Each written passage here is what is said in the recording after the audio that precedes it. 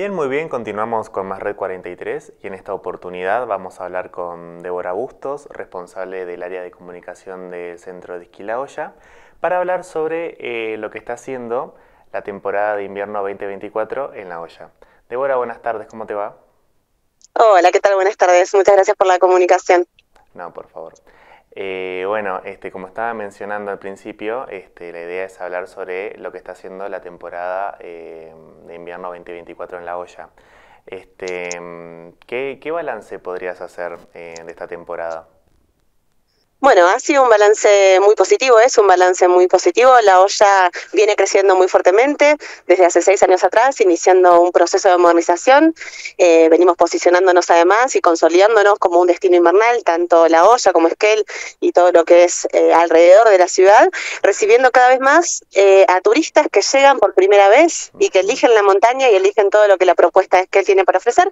Y además turistas que ya repiten el destino, ¿no es cierto? Y lo repiten por tres atributos importantes que tenemos como centro de esquí. El primero y más reconocido, no solamente a nivel nacional, sino internacional también, que es la calidad de nieve. Tenemos la calidad de nieve en polvo que es tan valorada por esquiadores y snowboardistas de nivel intermedio y avanzado.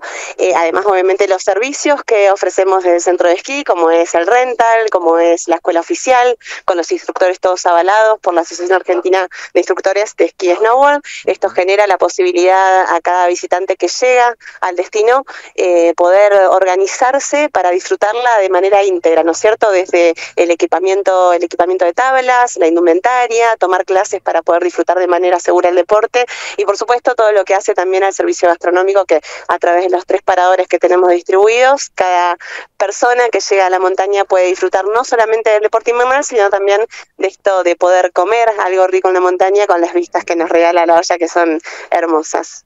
Bien. Con respecto, bueno, vos ahí mencionabas a los turistas, este, mm, ¿turistas de qué lados venían? ¿De, de la provincia, de diferentes partes de Argentina, de otros países? Sí, claro. Bueno, nuestro público más fuerte viene de la provincia de Buenos Aires, viene de Capital Federal, viene también de todo lo que es la costa de nuestra provincia del Chubut, Puerto Madryn, Comodoro, Trelew. Eh, bueno, hemos tenido también público internacional que viene de afuera, hemos tenido gente de Brasil que nos visitó y que por supuesto empieza ya también a, divulgarse, ¿no es cierto?, en este boca a boca y en todo lo que es el posicionamiento a través de, de los medios de comunicación y de todas las plataformas en las cuales estamos vigentes. Eh, bueno, la posibilidad de que descubran este destino inmerso en la Patagonia Argentina que realmente tiene mucho por ofrecer, principalmente lo que es la calidad de nieve, los servicios, las 30 pistas, los 8 medios de elevación, el trato que siempre se rescata tan amable y tan cordial por todo lo que es el personal de montaña, la gente que está en medios, en pistas, el equipo de pisteros socorristas que año a año se capacitan y que siempre están al mando y a disposición para que la experiencia en un deporte que es eh, en un medio hostil, porque la montaña obviamente genera eh, no solamente la emoción y la alegría que a todos nos, nos, nos brinda cada vez que pisamos la olla, sino también esta adrenalina, este miedo muchas veces al, pensar en deslizarnos, ¿no es cierto?, en pendientes para abajo. Eh, bueno, y para eso se necesita gente capacitada, nosotros la tenemos, son los pisteros socorristas, son los instructores que están avalados en la escuela oficial para enseñar las técnicas, para mejorar las técnicas y por supuesto todo lo que hace el personal de, montaña. Bien, y esta temporada, este, eh, ¿cuándo finaliza? Vamos a terminar eh, la temporada 2024 el lunes 30 de septiembre. La iniciamos el 5 de julio y este 30 de septiembre estamos ya cerrando lo que es la temporada invernal para el día siguiente ya no más ponernos a trabajar en todo lo que tiene que ver con el, bueno todo lo que es el mantenimiento de los de los suelos, todo lo que es la, el condicionamiento de nuevo de la montaña y trabajar fuertemente para seguir trabajando como venimos haciendo hace seis años en, en la calidad de servicio que ofrecemos como centro de esquí. Bien, perfecto.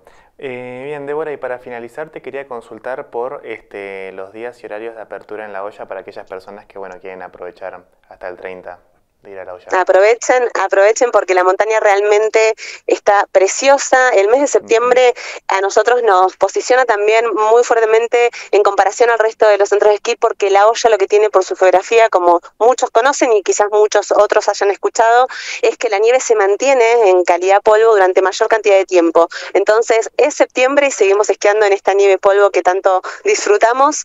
Eh, así que aprovechen estas últimas semanitas de, de esquí. Estamos operando de 9 y media de la mañana a 5 de la tarde, todos los días, siempre que las condiciones, por supuesto, meteorológicas lo permitan. Eh, y a través de nuestras redes sociales nos pueden encontrar con toda la información oficial. Eh, tanto operativa como comercial. Así que en Instagram estamos como arroba camlaolla y nuestra página oficial, por supuesto, donde también tienen toda la información precisa, esquilaolla.com. Bien, perfecto.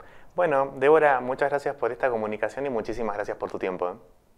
A vos, Emir, que tengas muy buena jornada. Lo mismo digo. Adiós.